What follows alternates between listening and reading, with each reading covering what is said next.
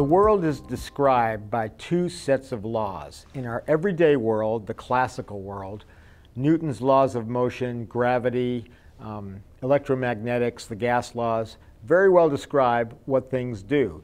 But at the small scale, below a certain cutoff, and we don't really know where that cutoff is, but let's say atoms, for example, different sets of laws apply. An atom or an electron can be in two or more places at the same time actually separated from itself.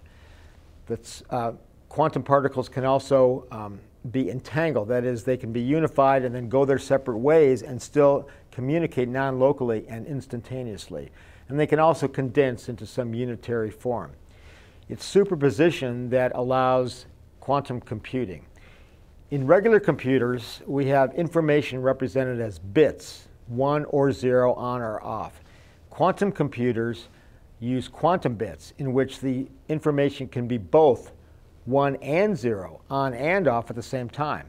Now these quantum bits or qubits communicate with other qubits by this non-locality, this entanglement, and do very efficient computing and stay in this funny quantum superposition state until they reach the the barrier between the quantum world and the classical world, and then they reduce or collapse to one or the other. So all the ones and zeros become either one or zero, and that's the solution or the answer to the quantum computation.